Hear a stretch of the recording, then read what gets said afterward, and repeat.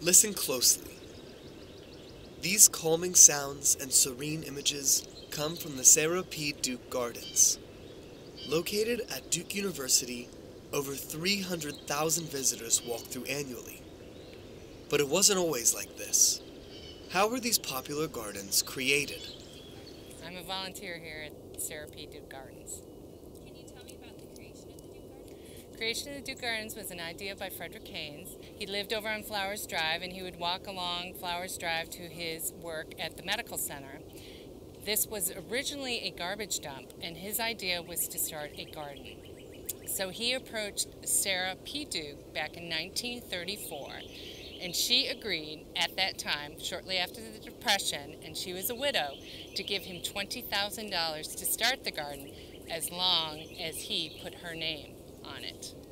Since the first flower beds bloomed in 1935, the Sarah P. Duke Gardens have changed a great deal. Today, the Duke Gardens serve Duke and Durham communities and visitors from across the world.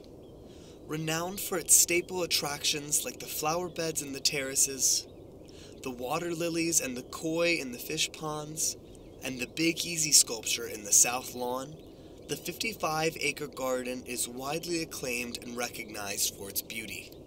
I think the Duke Gardens is the number one spot to bring your family if they're here on vacation. In fact, it is the number one spot to bring your family here. Uh, I call it the crown jewel here of Durham. And it's a phenomenal garden. And it's just a nice place for people to come and learn about plants. Um, we actually, it's it's got three purposes. It's purpose to wow you, second is to educate you, and the third is to run experiments. So we have several experiments we're doing throughout the garden. Duke Gardens is a really special place uh, to a lot of people in Durham, to a lot of people in the region, and um, it's one of the few places that I think in Durham that you can come with your family. It's totally free. Um, it's quiet and serene. Also, we've got tons of cool events.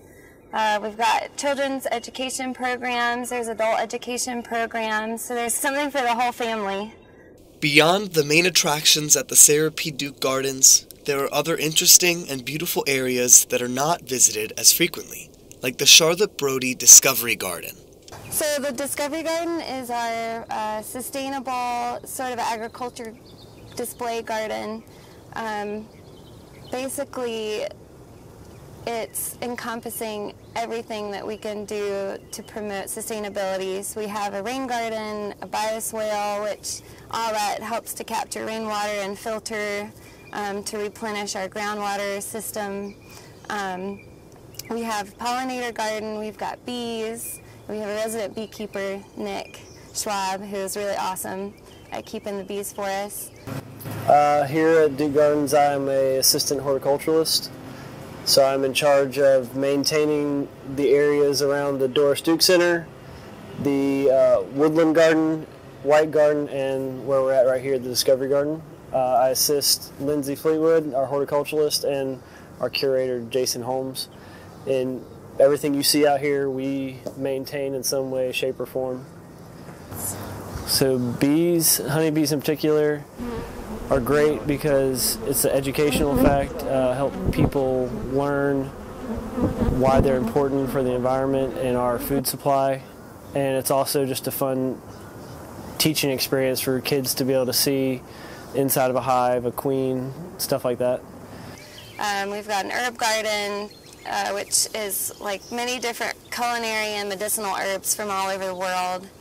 And mostly uh, the part that I'm mostly into is the vegetable garden at the top. And so far, we've donated over 11,000 pounds of produce since the garden started in 2012. Um, this year, currently, we've donated over 500 pounds of greens and vegetables. So that is my favorite part of the garden because it's helping us give back to the community in an even more tangible way. So and many, many of our, our field trips use the Discovery Garden in particular because that's such a tactile area. Um, there's a lot there that's designed to be able to be interacted with in different sort of sensory modalities. So there's lots of smells, lots of touch, touchable plants um, that are really interesting and engaging um, for visitors of all ages. Um, but we especially use them in, in children's programming. When most think about the Sarah P. Duke Gardens, they think of the gorgeous tulips and floral scenery sprawling across each level of the terrace. While this gorgeous sight attracts many a viewer to the gardens, the hidden gems within make it all the more special. While few may know about the quiet Discovery Garden tucked away in the back, even fewer have stepped foot into the Piedmont Prairie, located in the Blomquist Garden of Native Plants. The Blomquist is the smallest of the gardens here, and it was created in 1968 by Hugo Blomquist. He was uh, first professor of botany, and his idea was to showcase the native and endangered plants of the southeastern United States. And I believe there's about a thousand different species in that garden. Um, they're all native and endangered, and the latest addition would be the Piedmont Prairie. And in that project, they went out through the Piedmont, which are endangered here in North Carolina, and collected seeds. From those seeds, they grew into small plants, and they planted it about three years ago. That project has been expanded into the uh, RTP, RTP with Syngenta. They've created a Piedmont Prairie on their campus, and just recently we burned it, and by burning it, you're actually rejuvenating the plants so it will stay a prairie and not grow into a forest. From prairies to terraces, the Duke Gardens would not be the breathtaking center of relaxation, education, and enjoyment without the dedication of the individuals working behind the scenes, like the horticulturalists, curators, educational programmers, researchers, and volunteers. So the next time you step into the gardens, maybe take a moment to acknowledge all the hard work that has gone into creating your favorite spaces. Wander to the hidden corners, the peaceful prairie, the chicken coop. Let the volunteers and horticulturalists you encounter know how much you appreciate them.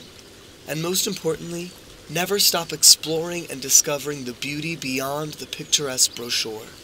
There is so much more to these gardens than meets the eye.